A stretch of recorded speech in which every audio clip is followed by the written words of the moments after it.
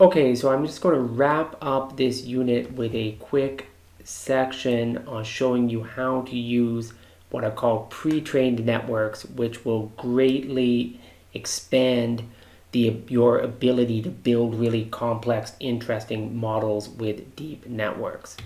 Okay, so the concept of pre-trained networks is that if you look at the really powerful, famous deep networks, they generally have millions of parameters and much of the training usually takes days of training with clusters of GPUs. It's extremely expensive and it's very hard to reproduce those kind of results on your own. So the idea in pre-trained networks is that you can just download one of these famous networks and use that as a starting point. In the area of image selection, most deep learning packages like TensorFlow have a number of really powerful deep networks that can be used as a starting point. So this, uh, if you go to this link here, you'll see some of these um, networks here.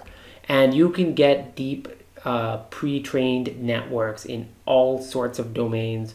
For example, for natural language processing, for speech recognition, for face recognition, and so on. In this demo, I'll walk you through two of these networks, just showing you how to use them, VGG19 and Xception. Now, what you can do with a pre-trained network is not just use them for what they were originally intended for, these were both used for the ImageNet classification. But as you're going to do in the lab, you're going to use a very important um, concept called fine tuning, which is you can then repurpose that network with some small modifications for new tasks.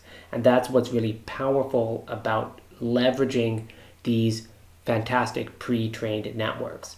Now, the slides on the GitHub site walk you through some of the history of these networks. I'm not going to go through that. Just going to jump right into TensorFlow to show you how to use these powerful networks and get you started right away. Okay, so as usual, I've created a pretty simple demo to illustrate the concepts on the GitHub site. So you can clone that whole GitHub repository and run the demo there, but I'm going to run it here on the colab.research.google page, in which case, again, as usual, you will not need to download anything onto your local machine. And in addition, for free, we're going to show you how also to get access to a GPU. All right, so what we do is navigate over to the Colab site, select File Open, select GitHub, and as usual, put in my GitHub page, https github.com slash sdrangan. After you select that, go to the class repository intro ML and go all the way down to unit 10 and the third demo on VGG16 is what we're going to open up. So after you open that up, uh, we'll have the demo. But before we start this time, what I want to do is activate a GPU. So one of the great features of Colab is that it provides free access to GPUs, which will speed up processing on deep networks. So what you do is you select Edit, and you go to notebook settings and then select hardware accelerator and GPU. You may not always get access if it runs out. Um, you'll get a message. Um, also, you're not going to get a state-of-the-art GPU. It's probably a GPU that's a few years old, but it'll certainly be good enough for this demo. So let's select that option. Um, you have to run it at select that at the beginning if you select it midway, then you nearly need to run all the commands again. Okay, we're going to then um, start with importing TensorFlow. So the first command, as usual, takes a little bit of time.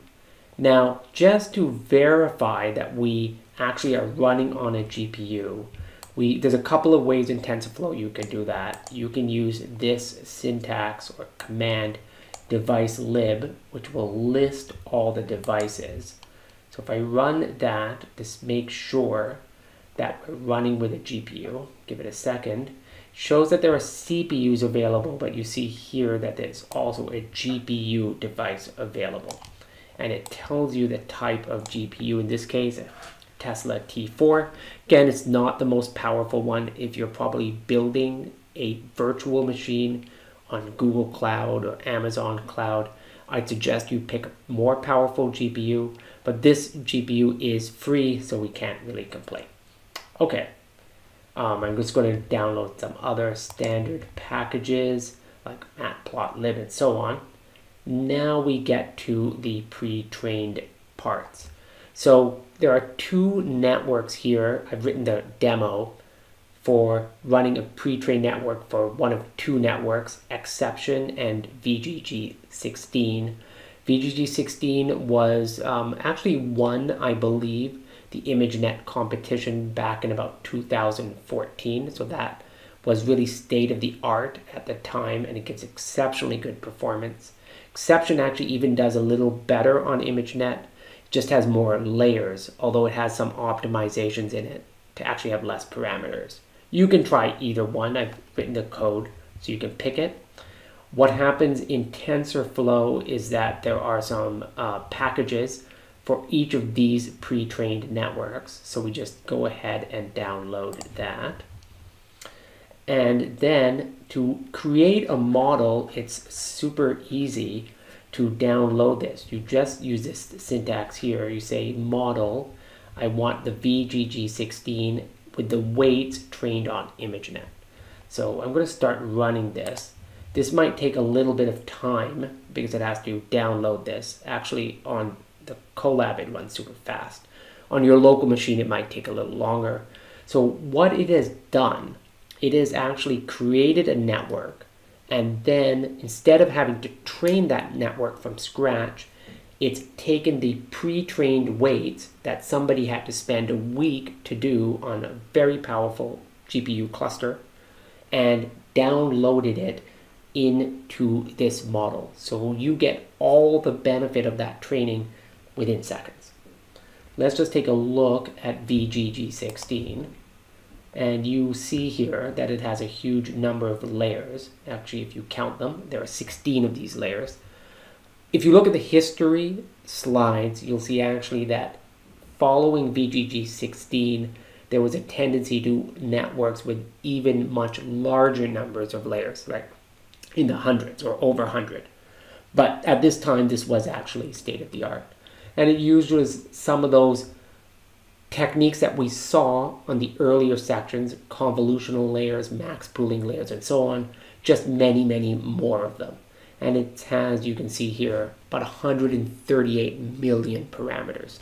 So that's would have been impossible for you to train without having a very, very specialized, powerful GPU cluster.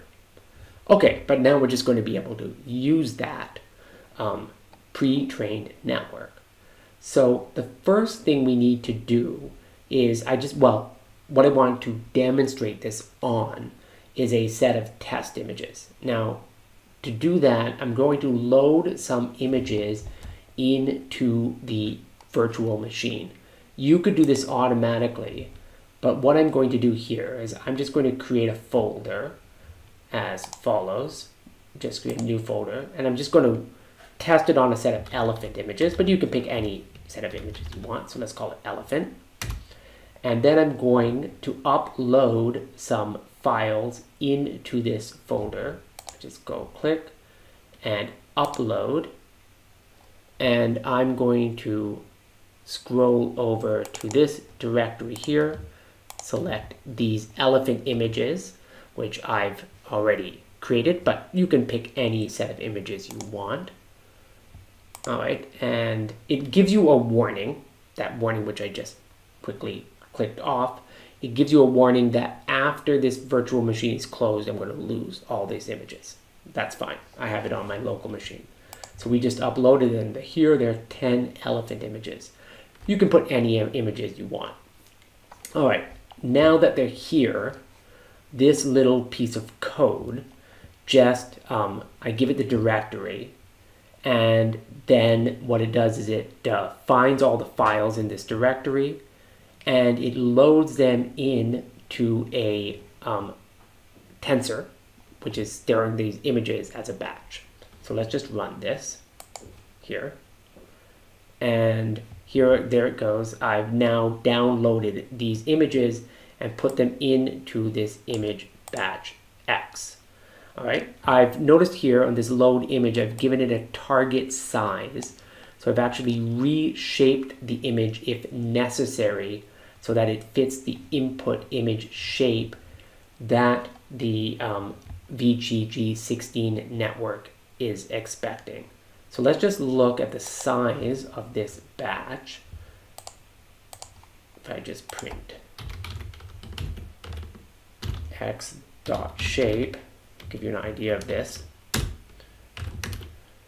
You can see here that I have 10 images because I have 10 pictures of elephants. I'll show you what these elephants images look like. And each image has been reshaped to 224 by 224 and it has three colors because they're color images. So that is the set of images I'm going to run on this network.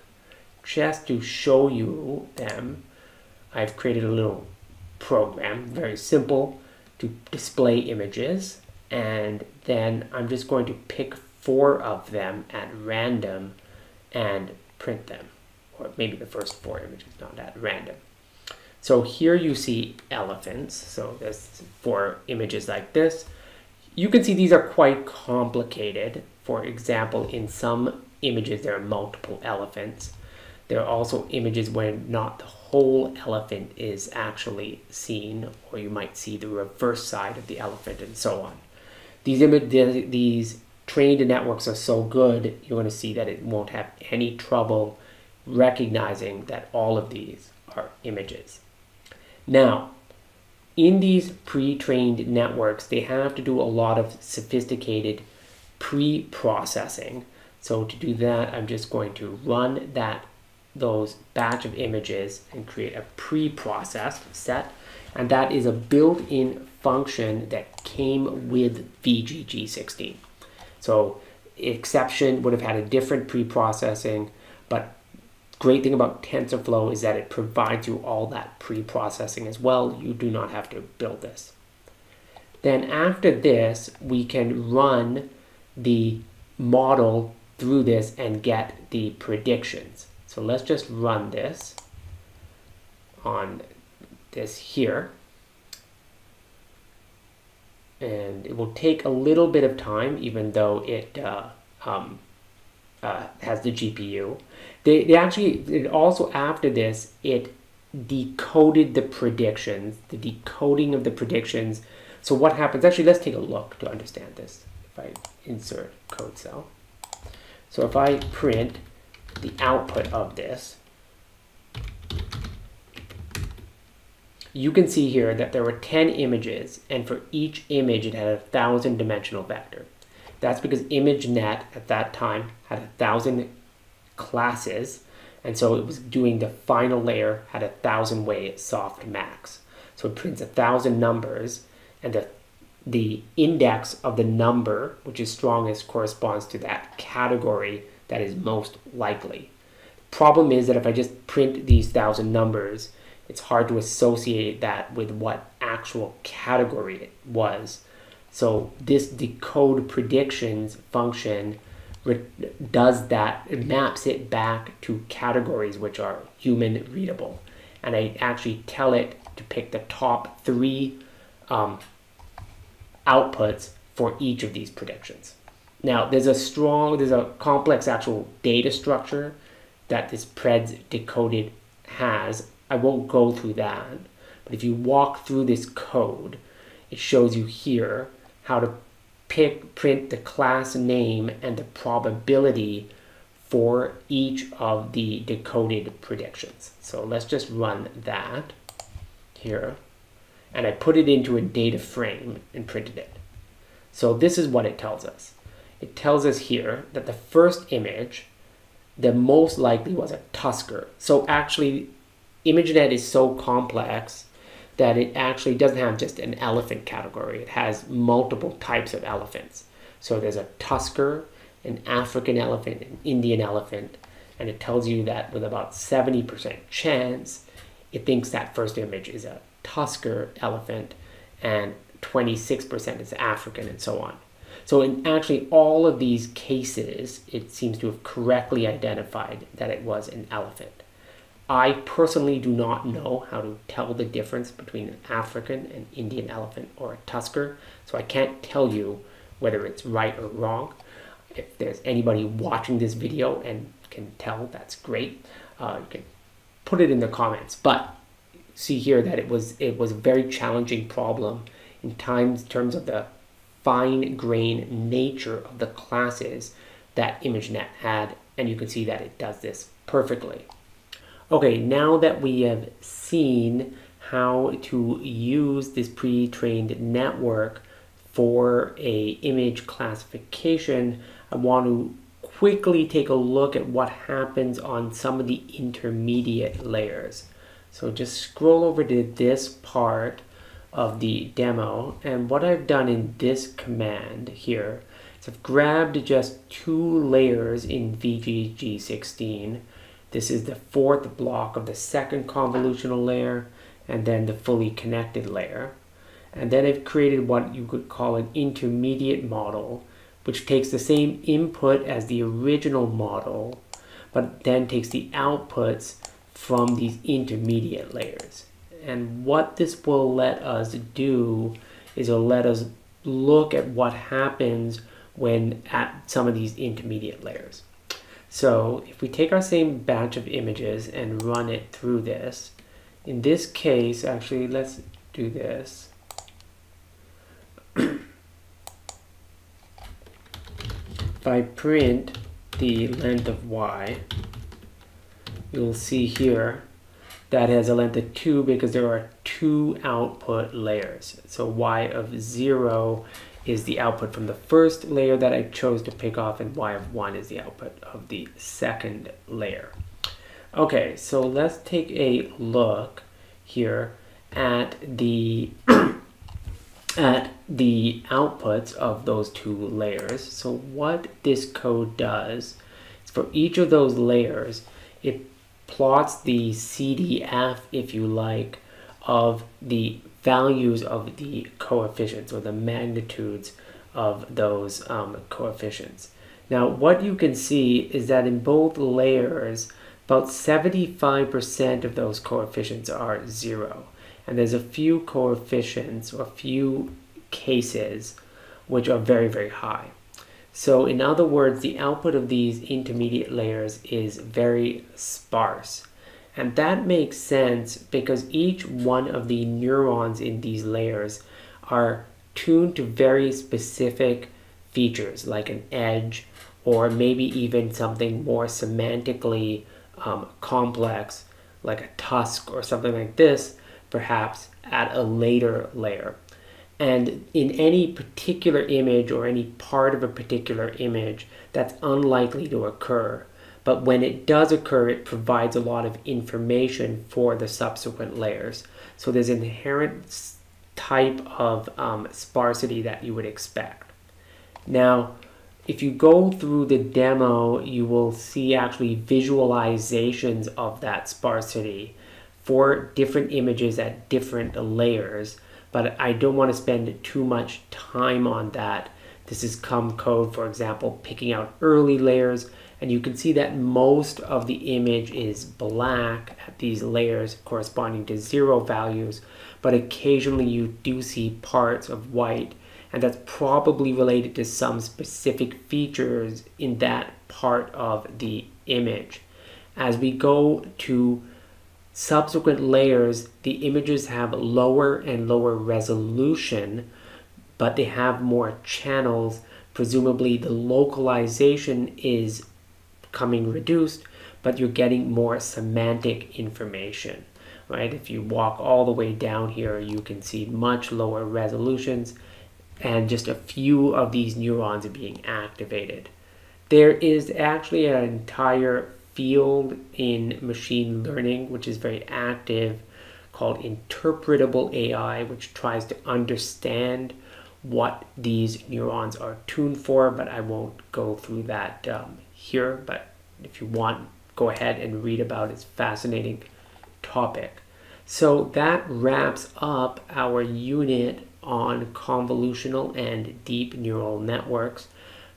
Just one last in-class exercise. I want you to try some own of your own images on this network and play around with it and see the kinds of results you can get.